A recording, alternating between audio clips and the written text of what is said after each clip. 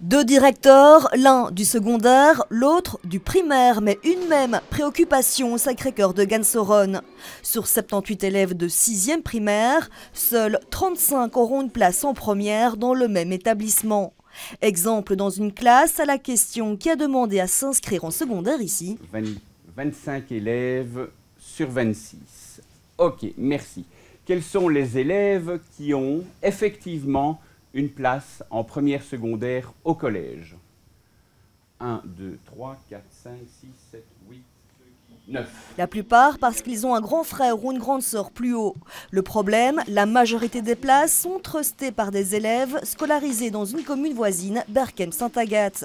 Ils bénéficient d'une note deux fois plus favorable lors du calcul de l'indice géographique. C'est parti de, de Villers-la-Ville dans, dans le Brabant Wallon et nous avons le cas ici à Bruxelles avec Berkem-Saint-Agathe où il n'y a pas d'école secondaire, une commune d'environ 24 000 habitants sans école secondaire et donc euh, les élèves font valoir leur priorité par rapport aux autres communes voisines où il y a une école secondaire. C'est le cas de Gansor. Nous avons toujours travaillé dans la continuité entre le primaire et le secondaire. C'est vraiment une volonté du pouvoir organisateur et des équipes pédagogiques et forcément euh, des directions. Ici, on voit des enseignants qui essayent de faire le maximum euh, pour euh, se battre pour que les enfants aient le meilleur résultat possible. Ils ne vont pas baisser les bras, bien évidemment, mais il y avait cette ambiance familiale au niveau du collège que l'on risque de ne plus retrouver du tout. Une conséquence de la fin d'adossement est d'un coup de pouce censé corriger une discrimination mais qui, effet pervers, pénalise d'autres élèves scolarisés ou habitant à Gansoron.